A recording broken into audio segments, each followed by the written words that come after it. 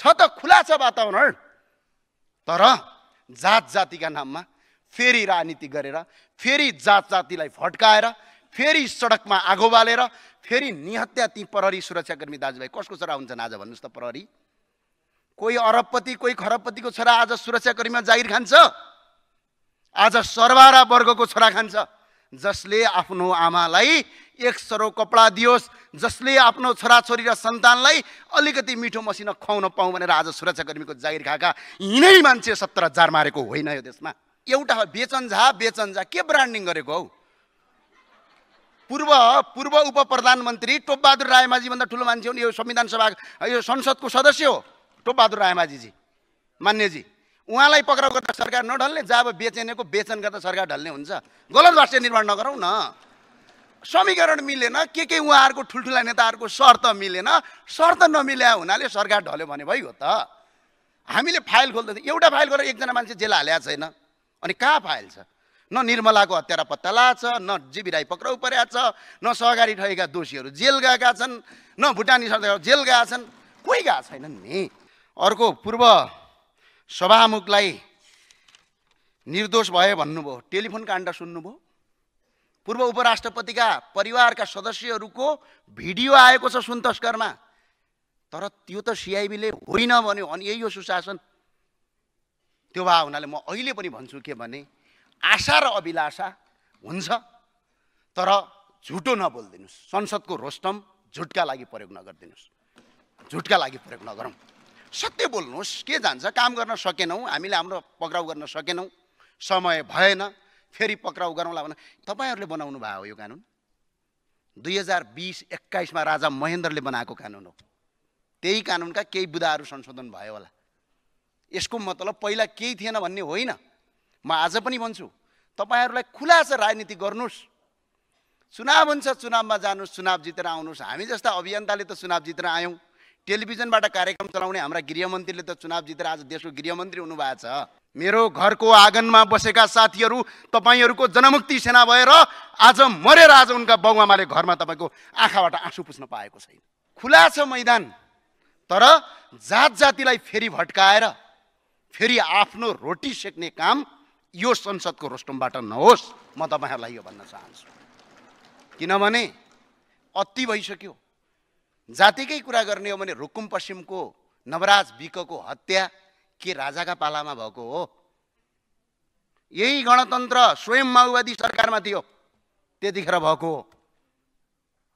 अहिलेसम्मकै जातीयताका लागि सबभन्दा ठुलो मान्छे मारेको घटनाभित्र पर्छ नेपालको। र अब दलितका छोराछोरीहरू चाहिँ पहिला राजाका पालामा केही पनि थिएनन् भन्नुभयो जस्तो भाष्य निर्माण गर्नुभयो अघि। हिरालाल विश्वकर्मा भन्ने नाम सुन्नु भएको छ कहीँ? सुनिया छ कसैले?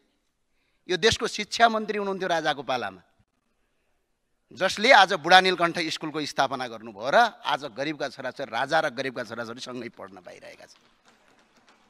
त्यो नभएको होइन। हो केही कुराहरू अलिक परिवर्तन सँगसँगै भयो होला। आज आफ्नै मन्त्री परिषद एकछिन पल्टाएर हेर्नुहोस् न। एकजना दलित छ कि कोही मन्त्री? छैन सुन्ने। अनि यो रोस्टममा उभिएर काम नगर्ने कुरा ठुलो गर्ने गरिदिनु भएन। त्यसले गर्दा हामी जस्ता भर्खर भर्खर आएका मान्छेलाई पनि भोलि गलत कुराको भाष्य निर्माण हुन्छ। हजुरकै पार्टीमा हेर्नु न एक दिन यो जनजातिको छोरा यो पार्टी माओवादीको अध्यक्ष हुँदा हामी पनि पर बसेर ताली पट्काउँथ्यौँ। तर याद राख्नु होला राष्ट्रिय प्रजातन्त्र पार्टीको नेता जनजाति आदिवासीको छोरा छन् आज। हामीले बनाइसक्यौँ। हामी बोल्दैनौँ। बनाइदिइसक्यौँ। हुन त हामी गृहमन्त्रीजीसँग बोल्न सक्दैनौँ। उहाँले गिनिज बुकमै नाम लेखाएको हो सबभन्दा बढी बोलेर। हामी सक्दैनौँ। सम्माननीय सभामुख महोदय आज संसदमा रमाइलै छ। सबै हुनुहुन्छ। यो मलाई बडा अचम्मको लागेको यो। सरकारको तर्फबाट विशेष गरी सम्माननीय प्रधानमन्त्रीज्यूले र गृहमन्त्रीज्यूले अब दल र सरकार दुइटैको पछिबाट बोल्नुभयो। उहाँहरूको बोली सुनेपछि त देश त विकास भइसकेछ। अनि देश त कायापलट भइसकेछ। भन्ने मलाई लाग्यो है ध्यानमा रहोस् है प्रधानमन्त्रीज्यू। यो देशमा आज पनि आठ लाख युवाले एक वर्षमा देश छोड्दैछन्। अनि कसरी विकास भयो यो देश? कुन आधारले भयो? हुन त हामी गृहमन्त्रीजीसँग बोल्न सक्दैनौँ। उहाँले गिनिज बुकमै नाम लेखाएको हो सबभन्दा बढी बोलेर। हामी सक्दैनौँ। उहाँको बोलीको म उच्च सम्मान गर्छु। र प्रधानमन्त्रीज्यूले अघि भन्नुभयो के भन्नुभयो भने आदिवासी जनजाति दलितको कुरा गर्नुभयो। साह्रै राम्रो कुरा प्रधानमन्त्रीज्यू तपाईँको यो बोलीका लागि म स्वागत गर्छु। तर एकछिन पल्टेर हजुरकै पार्टीमा हेर्नु न। एक दिन यो जनजातिको छोरा यो पार्टी माओवादीको अध्यक्ष हुँदा हामी पनि पर बसेर ताली पट्काउँथ्यौँ। तर याद राख्नु होला राष्ट्रिय प्रजातन्त्र पार्टीको नेता जनजाति आदिवासीको छोरा छन् आज। हामीले बनाइसक्यौँ। हामी बोल्दैनौँ। बनाइदिइसक्यौँ। अर्को दलितको कुरा गर्नुभयो। साह्रै राम्रो कुरा। आज आफ्नै मन्त्री परिषद एकछिन पल्टाएर हेर्नुहोस् न। एकजना दलित छ कि कोही मन्त्री? छैन सुन्ने। अनि यो रोस्टममा उभिएर काम नगर्ने कुरा ठुलो गर्ने गरिदिनु भएन। त्यसले गर्दा हामी जस्ता भर्खर भर्खर आएका मान्छेलाई पनि भोलि गलत कुराको भाष्य निर्माण हुन्छ। र अब दलितका छोराछोरीहरू चाहिँ पहिला राजाका पालामा केही पनि थिएनन् भन्नुभयो। जस्तो भाष्य निर्माण गर्नुभयो अघि हिरालाल विश्वकर्मा भन्ने नाम सुन्नु भएको छ कहीँ? सुनिया छ कसैले? यो देशको शिक्षा मन्त्री हुनुहुन्थ्यो राजाको पालामा। जसले आज बुढा नीलकण्ठ स्कुलको स्थापना गर्नुभयो र आज गरिबका छोराछोरी राजा र गरिबका छोराछोरी सँगै पढ्न पाइरहेका छन्। त्यो नभएको होइन। हो केही कुराहरू अलिक परिवर्तन सँगसँगै भयो होला। अब जातीयताको कुरामा आज पनि जातीय छुवाछुत विरुद्धको कानुन भन्छौँ। तपाईँहरूले बनाउनु भयो हो यो कानुन। दुई हजार बिस एक्काइसमा राजा महेन्द्रले बनाएको कानुन हो। त्यही कानुनका केही बुदाहरू संशोधन भयो होला। यसको मतलब पहिला केही थिएन भन्ने होइन। म आज पनि भन्छु तपाईँहरूलाई खुला छ राजनीति गर्नुहोस्। चुनाव हुन्छ चुनावमा जानुहोस् चुनाव जितेर आउनुहोस्। हामी जस्ता अभियन्ताले त चुनाव जितेर आयौँ। टेलिभिजनबाट कार्यक्रम चलाउने हाम्रा गृहमन्त्रीले त चुनाव जितेर आज देशको गृहमन्त्री हुनुभएको छ। खुला छ मैदान तर जात जातिलाई फेरि भट्काएर फेरि आफ्नो रोटी सेक्ने काम यो संसदको रोस्टमबाट नहोस्। म तपाईँहरूलाई यो भन्न चाहन्छु। किनभने अति भइसक्यो। जातिकै कुरा गर्ने हो भने रुकुम पश्चिमको नवराज विकको हत्या के राजाका पालामा भएको हो? यही गणतन्त्र स्वयं माओवादी सरकारमा थियो त्यतिखेर भएको हो।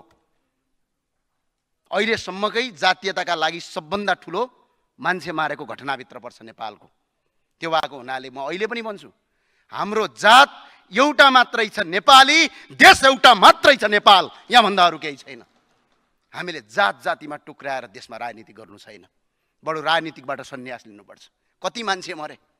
म जुम्लाको मान्छे हो सम्माननीय प्रधानमन्त्रीज्यू मेरो घरको आँगनमा बसेका साथीहरू तपाईँहरूको जनमुक्ति सेना भएर आज मरेर आज उनका बाउआमाले घरमा तपाईँको आँखाबाट आँसु पुस्न पाएको छैन। हामी त्यो युद्ध फेरि चाहन्नौँ। त्यो लडाइँ फेरि चाहन्नौँ। राजनीति गर्नुहोस् मैले भने त खुलम खुलास आउनुहोस् म जस्तो अभियन्ता त यो देशको सांसद बने टेलिभिजनमा कार्यक्रम चलाउने रवि लामी छाने माननीय गृहमन्त्रीज्यू भन्नुभएको छ आज। छ त खुला छ वातावरण तर जात जातिका नाममा फेरि राजनीति गरेर फेरि जात जातिलाई फड्काएर फेरि सडकमा आगो बालेर फेरि निहत्या ती प्रहरी सुरक्षाकर्मी दाजुभाइ कसको छोरा हुन्छन् आज भन्नुहोस् त प्रहरी? कोही अरबपति कोही खरबपतिको छोरा आज सुरक्षाकर्मीमा जागिर खान्छ? आज सरबारा वर्गको छोरा खान्छ? जसले आफ्नो आमालाई एक सरो कपडा दियोस् जसले आफ्नो छोराछोरी र सन्तानलाई अलिकति मिठो मसिनो खुवाउन पाउँ भनेर आज सुरक्षाकर्मीको जागिर खाएका यिनै मान्छे सत्तर हजार मारेको होइन यो देशमा। हो कि होइन? हामी यो चाहन्नौँ। हामी चाहन्नौँ। हामी सडकमा पनि उभिन्छौँ त्यति यदि त्यो भयो भने र यही संसदको रोस्टममा पनि उभिन्छौँ। आज पनि फेरि पनि भन्छु एउटा मात्रै देश छ नेपाल एउटा मात्रै जाति छ नेपाली। यहाँभन्दा अरू हामी जान्दैनौँ। हो अधिकारका कुराहरू छन् त्यो दिनुपर्छ। आज उत्पीडित वर्गको कुरा छ त्यो दिनुपर्छ। तर अर्कालाई ऐना देखाउँदै गर्दा अर्कालाई आरोप लगाउँदै गर्दा आफूले ऐना हेर्ने कि नहेर्ने? त्यो भए हुनाले सम्माननीय सभा महोदय अर्को म सुशासन भन्नुभयो गृहमन्त्रीज्यूले म त यस्तो मान्छे हुँ गृहमन्त्रीज्यू तपाईँलाई तपाईँको सरकारको प्रतिपक्षमा हुँदा पनि गृहमन्त्रीज्यूले काम गर्नुहुन्छ भने साथ दिन्छु भने रापरबाको प्रवक्ता पनि हुँ संसदीय दलको प्रमुख सचेतक पनि हुँ। मेरो पार्टीको हजार मेरो पार्टीको यहाँ हाम्रो पार्टीको पनि पाँच छ लाख भोट आएको छ यो देशमा। तपाईँहरूको गएर प्रदेशमा गर्ने भने तपाईँको राष्ट्रसभाभन्दा ठुलै पार्टी छ। तर पनि पार्टीको नीति सँगसँगै राखेर तपाईँलाई समर्थन दिन्छु भने यत्रो सुशासनको भाषण गर्नुभयो तपाईँको अभिन्न मित्र जिबी राई पक्राउ नगरेर बिदा हुने भयो। एकछिन पक्राउ गरिदिनुहोस्। अझै समय छ। म तपाईँको धैर्यकाको अझै आशा राख्छु। र त्यो भएको हुनाले अर्को कुरा गजबको कुरा यहाँ सुने मैले। आज पनि रसियामा मान्छेहरू युक्रेनको युद्ध हुँदा नेपाली अलपत्र परेका छन्। अर्को पूर्व सभामुखलाई निर्दोष भयो भन्नुभयो। टेलिफोन काण्ड सुन्नुभयो। पूर्व उपराष्ट्रपतिका परिवारका सदस्यहरूको भिडियो आएको छ सुन तस्करमा तर त्यो त सिआइबीले होइन भन्यो अनि यही हो सुशासन। त्यो भए हुनाले म अहिले पनि भन्छु के भने आशा र अभिलाषा हुन्छ तर झुटो नबोलिदिनुहोस्। संसदको रोस्टम झुटका लागि प्रयोग नगरिदिनुहोस्। झुटका लागि प्रयोग नगरौँ। सत्य बोल्नुहोस् के जान्छ काम गर्न सकेनौँ हामीले हाम्रो पक्राउ गर्न सकेनौँ समय भएन फेरि पक्राउ गरौँला भने एउटा बेचन झा बेचन झा के ब्रान्डिङ गरेको हौ? पूर्व पूर्व उप प्रधानमन्त्री टोपबहादुर रायमाझीभन्दा ठुलो मान्छे हुन् यो संविधान सभा यो संसदको सदस्य हो। टोपबहादुर रायमाझीजी मान्यजी उहाँलाई पक्राउ गर्दा सरकार नढल्ने जब बेचेनेको बेचन गर्दा सरकार ढल्ने हुन्छ। गलत भाष्य निर्माण नगरौँ न। समीकरण मिलेन के के उहाँहरूको ठुल्ठुला नेताहरूको शर्त मिलेन शर्त नमिल्या हुनाले सरकार ढल्यो भने भइगयो त। हामीले फाइल खोल्दा एउटा फाइल गरेर एकजना मान्छे जेल हालेको छैन। अनि कहाँ फाइल छ? न निर्मलाको हत्यारा पत्ता छ न जिबी राई पक्राउ परेका छ न सहकारी ठगेका दोषीहरू जेल गएका छन् न भुटानी सरकार जेल गएका छन्। कोही गएको छैनन् नि? हो ठुल्ठुला नेताहरू मिले यिनीहरूको कुर्सीको लडाइँ मिलेन त्यही भएर सरकार ढलो भनौँ। फाइल खोलेर सरकार ढलो भन्ने कुरा झुटो कुरा नगरिदिनुहोस्। म यति भनेको अब मलाई अरू केही छैन। चालिस बुधे मागमा सरकारले केही पनि चासो देखाएन। अहिले पनि भन्छु आशा र भरोसा गरौँ तर यो व्यवस्थाभित्र सुधार गर्न आवश्यक छ।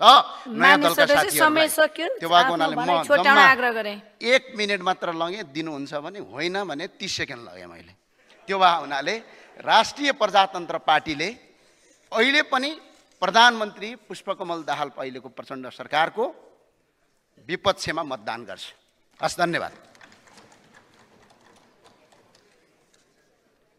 माननीय मेघमणि चौधरी समय छ मिनट। त्यसपछि माननीय अशोक कुमार राई। समाजको आवाज डट कम।